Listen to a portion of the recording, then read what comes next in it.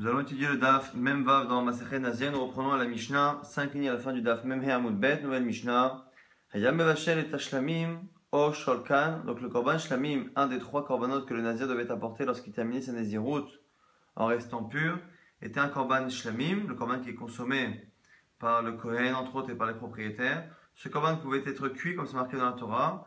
Au Sholkan, on pouvait le cuire de manière prolongée ce qui selon Tosfot revient à une cuisson. C'est la raison pour laquelle la Mishnah nous enseigne qu'une cuisson normale ou même une cuisson très prolongée est autorisée. Après cela, la Mishnah nous rapporte ce qu'on appelle la tenoufa, c'est-à-dire qu'à Kohen Hotel et Azora Beshela, Minail, et le Kohen prenait une partie de l'animal qui était cuit, donc le zéroa qui correspond au bras plus ou moins, au membre du bras, Behalat Matzah Achat Minasat, Matzah Achat.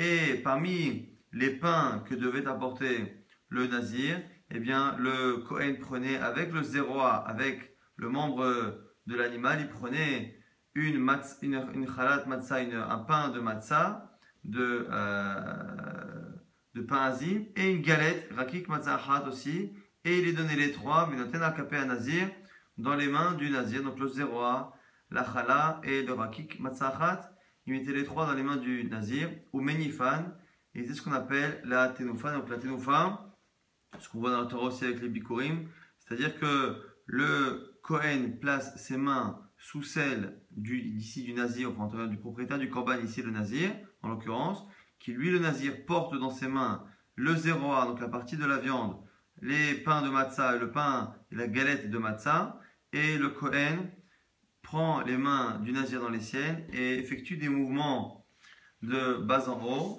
Et à ce moment-là, on a fait la misa de Tenoufa et nous dit la Mishnah à ce moment-là, qui est l'avis de Tanakama, et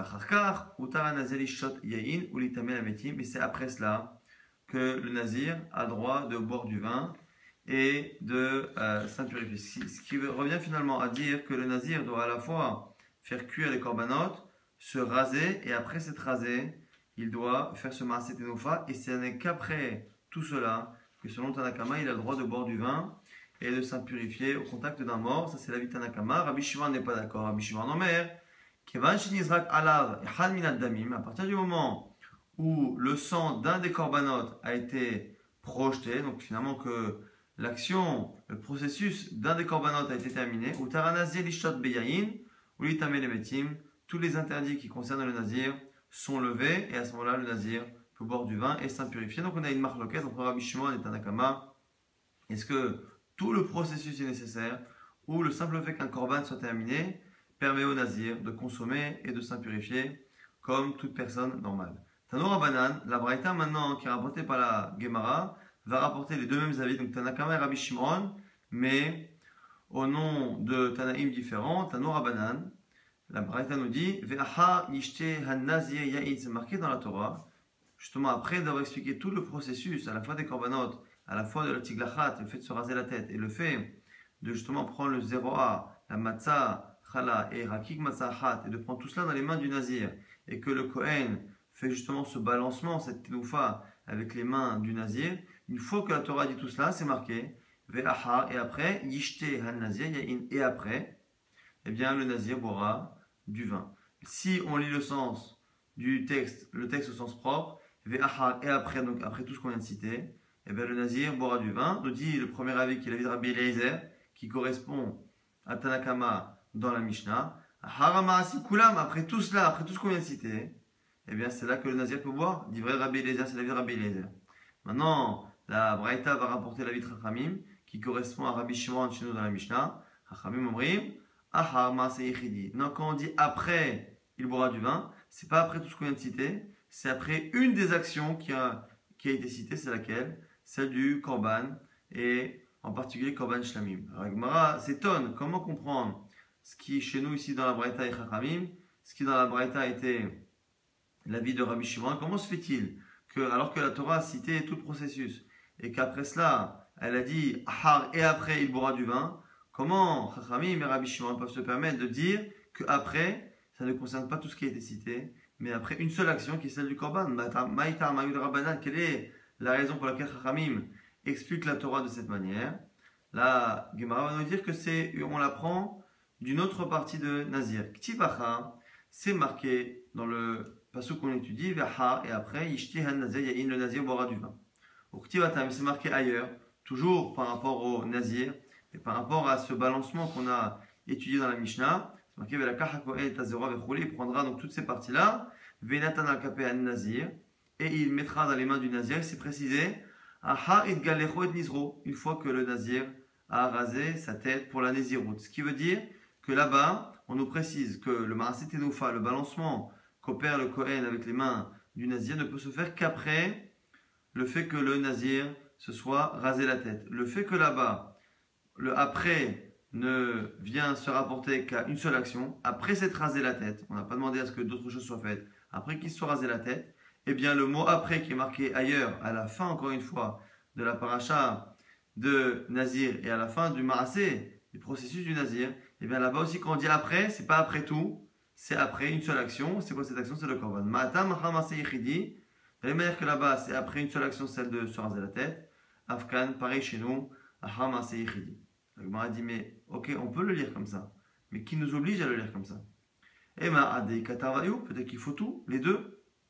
La répond, yachik zerashava la mali. Non, ici on a xerashava. Xerashava, c'est-à-dire qu'on a toujours su les haramim, ont reçu comme héritage que ces deux mots, Ahar qui est marqué à la fin du processus de Nazir, et Ahar qui est marqué justement par rapport à la Tenoufa, le balancement qui se fait après le rasage de la tête du Nazir, eh bien on a une, une, tradition de lier les deux termes Ahar, Ahar qui sont marqués dans les deux fois et de dire qu'on apprend l'un de l'autre. Et finalement, si on n'apprend pas ce qu'on vient de dire, on n'a rien à apprendre. Et donc finalement, la seule chose que l'on a à apprendre de Sexerashava, c'est que de la même manière que pour la Tenoufa, c'est après une seule action qui est celle du rasage de la tête. Pareil pour euh, le fait de pouvoir consommer toutes les choses qui étaient précédemment interdites, eh bien c'est après une seule action qui sera le korban. Donc on a vu une marloquette, Tanakama Rabbi Shimon, qu'on retrouve finalement entre Rabbi Lezer et Ramim. Est-ce que pour pouvoir consommer du vin et s'impurifier, le nazir a besoin de faire tout le processus qui est marqué dans la Torah, ou le simple fait d'avoir fait un korban l'autorise? Ça, c'était les marlokot entre les Tanaïm. Dans la Mishnah, maintenant, Alakha le Maaseh nous dit Rav qui est un Amora, Amara, Tenofa, Benazir Ma'akevet. Nous dit Rav, la Tenofa, le fait justement de prendre les mains du Nazir et de les balancer avec le zéroa, la matzah et les rakik dans les mains, et eh bien tout cela est quelque chose qui est nécessaire pour que le Nazir puisse consommer du vin et s'impurifier. Alors la Gemara se demande en fonction de qui a-t-on enseigné cette halakha La Gemara dit Ali Bademan, comme qui va cette halakha si tu dis que ça va comme Chachamim, qui disent qu'il n'y a qu'un korban à faire. Donc s'il n'y a que le korban à faire, on n'a pas besoin de se raser la tête. A fortiori qu'on n'a pas besoin non plus de justement faire ce balancement qui a lieu après le rasage de la tête. Tiglachat, un vrai rabbanan l'omer si déjà le fait de se raser la tête, qui est même obligatoire, mais qui n'est pas nécessaire pour que le nazir puisse consommer du vin. Tenoufa ce qu'il y a besoin de dire que la tenoufa, il n'y a pas besoin. Donc c'est pas bête, ça ne peut pas être un Et là, ah, c'est qui? Elle est Rabbi Lézer, c'est Rabbi Lézer. Qui dit quoi Rabbi Lézer Que tout est nécessaire. En tout cas, l'agma dit effectivement, c'est Rabbi Lézer, ça va. C'est pas contradictoire. Le problème, c'est que c'est évident, puisque Rabbi Lézer nous a dit que lorsque la Torah a dit après cela, il euh, boira du vin, c'est après toutes les actions que la Torah a ordonnées. Et donc, du coup, il est évident que toute action, finalement, est nécessaire et empêche le nazir de consommer du vin. Et donc, il n'y a pas de raison que Rab nous enseigne que le cas aussi de la ténoufa du balancement, euh, rentre dans la même catégorie. Pshita, c'est évident. Hama Rabbi Lezer, on a dit au Rabbi Lezer, qu'il fallait tout faire pour pouvoir consommer du vin. Et moi, dit non, il y a un chidouche. Mahudetema, qu'aurais-tu pu penser Keban de kapara, puisque par rapport à la kapara, par rapport à l'expiation des fautes de manière générale, lorsque la Torah nous demande dans les autres corbanotes d'apporter justement euh, les choses et de faire une tenoufa, de faire un balancement avec certaines choses, chez mitzvah, pour les autres euh, korbanot, de manière générale, pour expier la faute, c'est considérer ce balancement et considérer comme chez mitzvah, comme quelque chose de d'accessoire dans la mitzvah et donc de pas forcément nécessaire. Tu aurais pu penser que donc à ce moment-là ici, de la même manière que pour les autres korbanot, eh bien l'expiation peut être faite sans justement ce balancement. On aurait pu penser que même si Rabbi Eliezer dit qu'il faut tout faire pour boire du vin, peut-être que tout n'inclut pas ce qui en général est accessoire et qui est ce balancement. Kamash Malan vient t'apprendre que non, que ce qui est accessoire par ailleurs ici est nécessaire. Donc lorsque Rabbi Eliezer a dit qu'il fallait tout faire, c'est tout vraiment au sens strict du terme. Et donc à ce moment-là, même le balancement, s'il n'a pas été effectué, empêche le nazir de consommer du vin et de s'impurifier.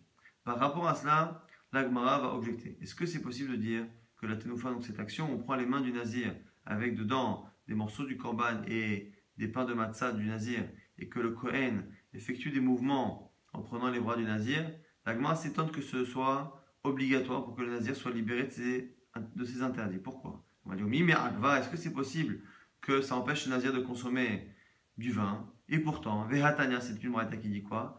Zot Torah Nazir. Voici la Torah dit Zot Torah Nazir, voici la Torah, voici l'enseignement du nazir. Pourquoi Zot Torah Tanazir Chaque fois qu'on dit Zot Torah Tanazir, c'est pour finalement être machevé, mettre au même plan eh bien, toutes les halachot de Nazir. Que nous apprend Zot Torah Tanazir, nous dit la Braïta Ben Shesh Lo Kapaim, Ben Shesh Lo Kapaim. Que la personne ait finalement des mains, des paumes, parce que c'est dans la paume qu'on doit mettre les choses. Que le Nazir eh bien, ait des paumes et des mains, ou un Nazir qui, l'Orléno a perdu ses mains et qui ne peut pas donc a priori faire la mitzvah de Tenoufa. Donc le fait que la Braïta nous ait dit que Zot Torah Tanazia vient mettre les deux sur le même plan, cela sous-entend que de la même manière que celui qui a des mains, eh bien, il pourra se libérer de ses interdits et consommer du vin. Pareil pour celui qui n'en a pas. Puisqu'on a mis les deux sur le même plan, c'est nous dire sûrement que celui qui a des mains pourra consommer du vin, et pareil pour celui qui n'en a pas, de là ça apprendrait. Au contraire, la n'est pas obligatoire pour pouvoir consommer du vin. La Gemara repousse cette compréhension. Le fait que la Braïta nous ait dit qu'on met sur le même plan celui qui a des mains et celui qui est manchot, eh bien, ça ne veut pas dire que les deux ont une possibilité de consommer du vin. Pourquoi? Et là, regarde, il y a une Braïta qui dit quoi? Zot Torah Tanazir. Encore une fois, ce passage qui nous dit que voici la Torah du Nazir, l'enseignement du Nazir. Ben Sheesh Ben Qu'il ait des cheveux ou qu'il n'ait pas de cheveux. de l'Omer Agva. Est-ce que finalement, le fait qu'on nous dise que c'est la même chose pour celui qui a des cheveux ou celui qui n'en a pas, est-ce que ça voudrait dire du coup que de la même manière que celui qui a des cheveux pourra finalement être libéré avec le, rasage de la tête, pareil pour l'autre sans rien faire? Impossible de dire un truc pareil, pourquoi? Il y a une braïta qui le dit. Va, Nazir memorat un nazir qui a perdu ses cheveux, qui est chauve, qui n'a plus de cheveux. Là-dessus, on a une marque Bet Hillel Bet Shammai. Bet Shammai. Selon Bet Shammai, il n'a pas besoin de passer le rasoir sur sa tête. Ou Bet Hillel omrim, Bet Hillel nous disent, il a la nécessité de passer le rasoir sur sa tête. Donc cette braïta nous dit qu'on a une marque Bet Hillel Bet Shammai, Selon Bachama, il n'a pas besoin de passer le rasoir. Selon Bethilel, il a besoin de passer le rasoir. Mais même cette euh, elle est difficile à comprendre. Amar Ravina, Ravina lui a une compréhension. Ma et le Bet Quand on dit que Bet dit qu'il n'y a pas besoin de passer le rasoir, c'est quoi notre sarir Et notre. C'est qu'il n'a pas besoin et donc il ne peut pas le faire et donc il ne le fait pas. C'est-à-dire que ça n'a pas de sens, ça n'a pas de, de, de de conséquences de passer le rasoir et donc il n'a pas de solution. Et selon Bet selon Bet eh bien, il n'y a pas de solution. Bet et donc pour Bet en contrepartie, Yeshlotakana, donc la marque finalement, selon Ravina, entre Bet et Bet et que selon Bet il n'y a pas de solution. Selon Bet il y a oui une solution. Selon Bet il suffit de passer le rasoir sur la tête, même si la personne est chauve, le fait de passer le rasoir sur la tête, lui permet, lui permet finalement de faire la mitzvah et de pouvoir s'acquitter. On voit bien finalement qu'on ne peut pas apprendre la, et lire les braïtas de cette manière-là. On voit bien finalement que la deuxième braïta qu'on a citée, qui nous disait que qu'il ait des cheveux, qu'il n'ait pas des cheveux, eh bien, c'est la même chose, c'est la même halakha. On voit bien que c'est particulier là-bas, c'est qu'il ait des cheveux, qu'il n'ait pas de cheveux, eh bien, il passera le rasoir sur la tête et il aura fait la misa. Donc, du coup, cette braïta là-bas est particulière. Mais il reste, il reste la question qu'on a posée, c'est que dans le cas des mains, c'est marqué que qu'il ait des mains ou qu'il n'en ait pas, eh bien c'est pareil. Comment comprendre cette halakha qui nous dit qu'il mains ou qu'il n'en ait pas, pareil, ce qui sous-entend que la tenoufa, le balancement n'est pas obligatoire, alors que Rav nous a dit que tenoufa marakevet. L'agma nous dit Vainu des Rabbi Pedat. Cette compréhension qu'on a dit, c'est Rabbi Pedat. Dama Rabbi Pedat, Bet Shammai et Rabbi Eliezer, Amrou Davar. Ce qu'on vient de dire au nom de Bet Shammai, que sur le Bet Shammai il n'y a pas de solution, eh bien c'est la compréhension de Bet Shammai telle que on a compris aussi Rabbi Eliezer. Et Rabbi Eliezer nous dit que Bet Shammai et Rabbi Eliezer pensent la même chose. Donc c'est une compréhension de Bet Shammai qui correspond à Rabbi Pedat, à l'opposition de ce qu'on dira dans quelques instants au nom de Ravina. Mais en tout cas pour l'instant, Ravina et Rabbi Pedat ont compris Bet Shammai comme, comme euh, Rabbi Eliezer. C'est quoi Rabbi Eliezer? Maï Rabbi Eliezer, Détania une Par rapport au Metzora, eh bien le Metzora, on doit justement prendre du sang du Hacham, du Korban Hacham que le euh, Metzora doit apporter, et on doit le mettre justement sur le pied et sur la main du Metzora. C'est marqué, Velakach HaKohen midam Hacham, Venatan HaKohen al Tenuch, Ozen Taher, Aïmanit, Ve'alboin Yado, Aïmanit, Ve'alboin Raglo, Aïmanit, il devra mettre le, euh, le sang justement à la fois sur le pied droit et à la fois sur la main droite. Nous dit à ce moment-là la Braïta, Enlo Bohenyad, Veregel, s'il n'a pas justement ces parties du pied ces parties de la main, Enlo Tahara il n'y a pas de solution, vrai Rabbi Eliezer. Donc on voit ici Rabbi Eliezer qui a l'air de dire que lorsque la Torah nous demande d'utiliser une partie du corps pour un massé korbanot et que la personne est amputée de cette partie du corps, eh bien, on voit dans le cas du Metzora que Rabbi Lézard dit qu'il n'y a pas de solution et il ne peut pas être purifié, ce qui correspond à la compréhension que Ravina a de Beth chez nous, qui dit que lorsque le nazir qui n'a pas de cheveux, Beth nous dit qu'il n'a pas besoin de passer le rasoir, il n'a pas besoin de passer le rasoir parce que ça ne sert à rien et donc il n'a pas de solution. C'est comme ça que Ravina l'a compris. La Braïta continue avec les autres avis. Rabbi Shimon Omer, Selon Rabbi il suffit de laisser le sang à son endroit et la mitzvah est accomplie. Ce qui veut dire que la personne est dispensée d'utiliser les parties de son corps qu'elle n'a pas. Chachamim, Omrim Chachamim nous disent Hachel Small, Il peut le mettre sur l'autre pied ou l'autre main, parce que la Torah en général parle de la main droite et du pied droit. Si la personne, il lui reste le pied gauche et la main gauche, ça marche. Donc on a finalement ici le marloquette entre trois Tanaïm est-ce que la personne qui n'a pas de main droite ou de pied droit, eh bien, euh, ne peut rien faire? C'est Rabbi Eliezer, ce qui correspond à la compréhension de Beth qu'on a vu précédemment. On a après Rabbi Shimon qui dit qu'il est complètement dispensé, mais qu'il est tout de même purifié sans cela. Selon Chachamim, il ne sera purifié que si il met le sang sur les autres membres du côté gauche, main gauche et pied gauche. Ce, qui ressort en tout cas, c'est qu'on a finalement, pour l'instant, compris Beth comme étant comme étant comme Rabbi Eliezer, c'est-à-dire que lorsque la personne n'a pas le membre nécessaire tel que la Torah a demandé pour pouvoir faire le processus du kamban, eh bien, la personne n'est pas purifiée. Le Metzora n'est pas purifié s'il n'a pas la main droite et, la, et le pied droit. Et il faudrait comprendre ici que le nazir qui n'aurait pas de cheveux et qui eh ben, ne pourrait pas se raser la tête, c'est comme ça qu'on l'a compris. En tout cas, on avait finalement gardé la question en faisant en sorte que l'objection à la question avait été repoussée en sachant que selon Bathilel, tel que c'est compris comme Ravina, selon Bathilel, eh bien le nazir qui n'a pas de cheveux a une takana, une solution en passant le rasoir sur la tête même s'il n'a pas de cheveux et donc du coup on ne lit pas les deux braïtot de la même manière. Toute cette euh, là euh, est rapportée un peu différemment avec finalement les mêmes enseignements simplement la marloquette Bethilel Bet par rapport au nazir chauve sera expliqué différemment. On a dit que selon Beth Hillel, Beth Shammai, dit il n'y a pas besoin de passer le rasoir, et selon Beth Hillel, il y a besoin.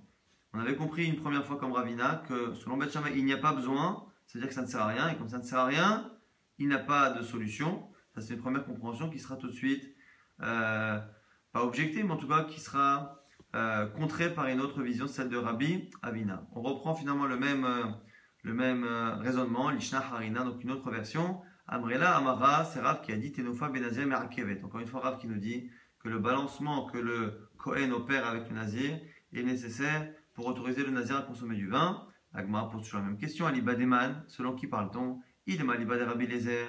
Si c'est Rabbi Lezer Pshita, c'est évident. Rabbi Lezer. Rabbi a dit que tous les Maasim, toutes les actions de la Nézirut étaient nécessaires pour que le Nazir soit autorisé à consommer du vin. Et là, l'ibadé rabanan, forcément que c'est rabanan. Alors, il m'a dit quoi? Ashta, rabanan. Et donc, du coup, puisque la tiglacha, le fait de se la tête n'est pas nécessaire, est-ce qu'il y a besoin de dire que la tenoufa ne l'est pas non plus? La Gemara dit et s'étonne. Ou mi Est-ce que finalement ça t'étonne de dire que euh, le tenoufa, donc le balancement, empêche le nazir de consommer. Hataya, pourtant c'est une zot Torah nazir. Voici l'enseignement du nazir. Ben ben qu'il est finalement des mains ou qu'il n'est pas de mains. Et donc du coup, on voit bien que on met sur le même plan celui qui a des mains, celui qui n'a pas de mains. L'Agmara essaie de repousser et dit Vela, Haditanya Zot Torah Nazir. Et pourtant on a enseigné Zot Torah Nazir. Encore une fois, c'est le même perso qui nous dit que tous les Nazirim auront la même halakha. Ben Shesh ou Ben Shesh qu'il ait des cheveux, ou qu'il n'ait pas des cheveux. Achinami Meragva, tu vas dire aussi que dans ces cas-là, les cheveux eh bien, sont gênants. Vehatanya, et pourtant la Braïta nous dit quoi? Nazir Memorat, un Nazir qui est chauve, Bet Shamay Omrim, et une autre Sarich la al Rosho. Bet Shamay nous dit qu'il n'y a pas besoin de passer le rasoir sur la tête, ou Bet Hillel Omrim, et Bet Hillel nous dit que Sarich. Donc ça, pour l'instant, ce sont les mêmes sources. Simplement, Rabbi Avina comprend différemment. Ma Rabbi Avina, Maït Sarich le Bet Hillel, Sarich Takana. C'est l'inverse. Quand Bet Hillel nous dit Sarich, il faut passer le rasoir, c'est il faudrait passer le rasoir sur ses cheveux, mais qu'il n'a pas. Et donc, comme il faudrait passer le rasoir sur des cheveux qu'il n'en a pas, et notakana, il n'a pas de solution. Et c'est l'inverse, les Bet les Bet Shammai, et selon Bet Shammai, yesh takana. C'est selon Bet qu'il y a une takana, et que quand on dit qu'il n'a pas besoin de raser sa tête, c'est que comme il n'a pas de cheveux, il n'a pas besoin de raser la tête, et donc du coup, il est yossé tout de même ou Pliga de Rabbi Pedat, et cette vision-là de Rabbi Avina, de Bet Shammai, est en contradiction avec celle qu'on avait vue précédemment, qui était celle de Rabbi Pedat, qui disait que Bet Shammai était comme Rabbi Eliezer dans le Metzora, et comme Ravina aussi, qui pensait que selon Bet Shammai, il n'a pas besoin, ça veut dire qu'il n'a pas de solution. Et donc finalement, selon ce passage de l'Agmara, les questions sont totalement, sont totalement inversées, c'est-à-dire que on s'étonne de penser que la Tenoufa euh, serait pas nécessaire, parce qu'on apprend justement qu'elle est nécessaire du fait que si on regarde par rapport à celui qui est chaud, on voit que selon Batilel, selon Batilel, eh bien, celui qui n'a pas de cheveux est notakana. Donc finalement, ce qui était une objection dans la suga précédente est une réponse, et inversement, c'est-à-dire que selon la euh, précédente, il sortait que selon Batilel, il n'y avait pas besoin de faire une action lorsque la personne n'avait pas le membre nécessaire, les cheveux ou les mains ou les pieds. Et donc du coup, c'était une objection arabe qui disait que la tenoufa était obligatoire.